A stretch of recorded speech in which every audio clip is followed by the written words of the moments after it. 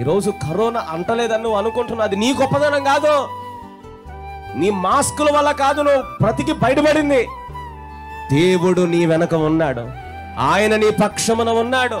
ఆయన నీకు తోడుగా నిలబడి ఏ కీడు రాకుండా ఏ తెగులు నిన్ను అంటకుండా నా ప్రభు ఈ నూతన సంవత్సరం అడుగుపెట్టే కృపనిచ్చాడు నీకు. హలో జ్ఞాపకం చేసుకోదాన్ని ఎవరికైనా జ్ఞాపకం ఉందా?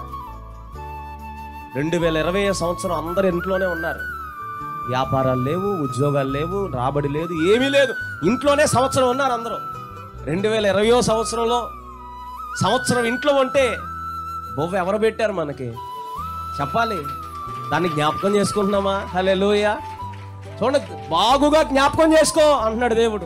అవి గుర్తుపెట్టుకో మనం ఎవడో ఏదో అన్నాడు ఎవరో ఏదో తిట్టారని ఎవరో ఏదో చేశారని అవి గుర్తుంటే కానీ రెండు వేల ఇరవై సంవత్సరం ఇంట్లో ఉన్నాం.